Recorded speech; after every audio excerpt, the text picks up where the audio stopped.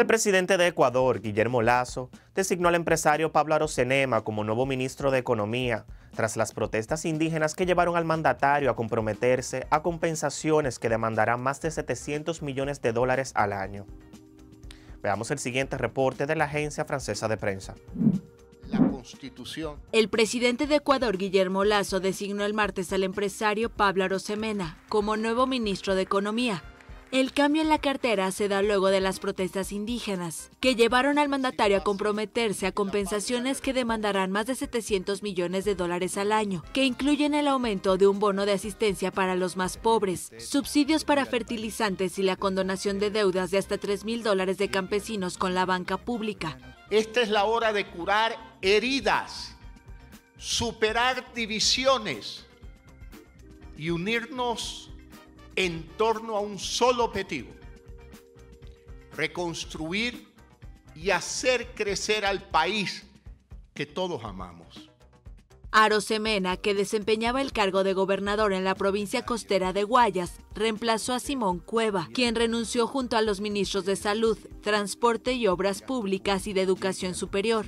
Según un comunicado, Arosemena será el encargado de conducir la reactivación económica de todo el país, que se traduzca en la generación de fuentes de empleo y una mejora de la calidad de vida de la población, especialmente de los más necesitados. El corazón de nuestro plan económico es, es este, orden con enfoque social. Lazo, un ex banquero de derecha que asumió hace 13 meses, afrontó una reciente protesta de la poderosa Confederación de Nacionalidades Indígenas. Según el presidente, los 18 días de manifestaciones dejaron pérdidas por unos mil millones de dólares, incluidos 260 millones por una baja en la producción de petróleo.